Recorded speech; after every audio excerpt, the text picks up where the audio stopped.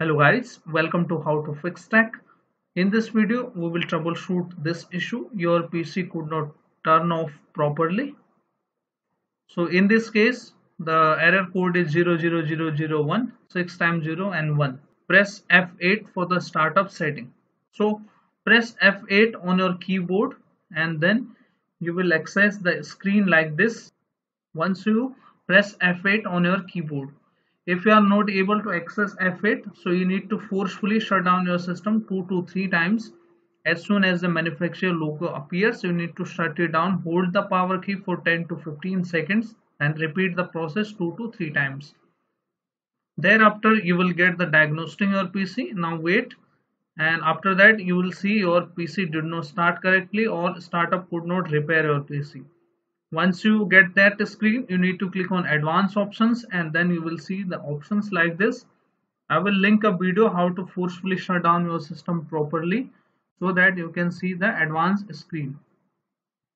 After that click on troubleshoot option. Click on advanced options and click on command prompt. Now we are going to boot our system with the new booting files so we are going to execute some commands to get the new files.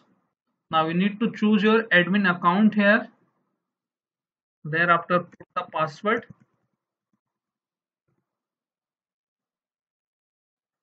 Now you need to type here the command bootrec space slash fix mbr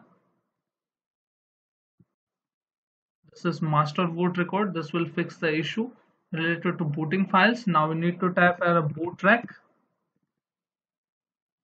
space slash fix boot.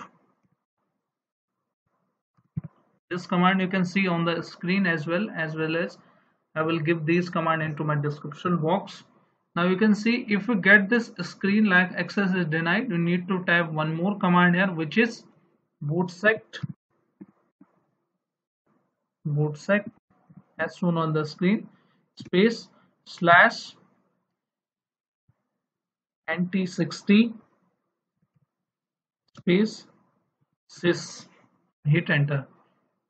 You will see the bootrec was affiliated to target volumes.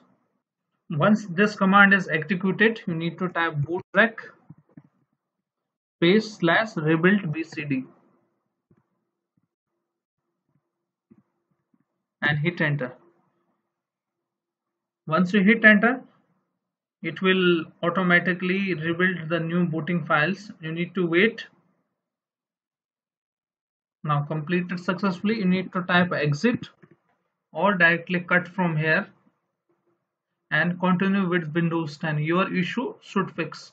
If first step does not fix your problem you need to access the same screen like this and you need to type now you need to click on troubleshoot advanced options and command prompt. On the command prompt you need to type as c chkdsk space and then you need to type this slash f space slash r space then the drive letter where the windows is installed. It is basically installed in the c drive so you can press c and then colon and hit enter. But in my case it is in a d drive. So and this will repair all the bad sector and corrupted files inside your hard drive. And this will go to five stages and repair your hard drive and boot related issues. This is very powerful command. Now you need to have patience. It will take some time. If sometime this command stucks you need to wait. Now i'm fast forwarding this video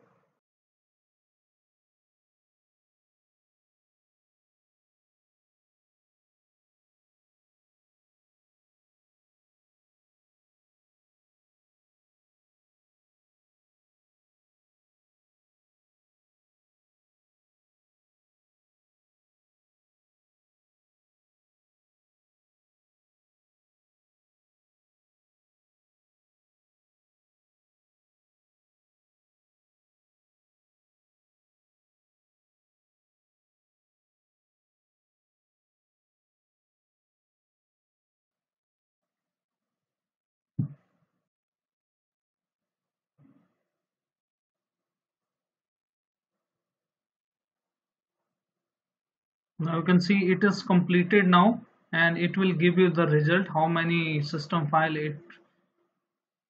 Now you will see the option scan file and no problem found. But in your case it has repaired many file bad sectors inside your windows. So now you need to tap exit or you can directly cut it from here like this and continue with windows 10 and hopefully your issue will be resolved so hope this video is useful for you and your issue has been fixed now. If yes then hit like subscribe and share.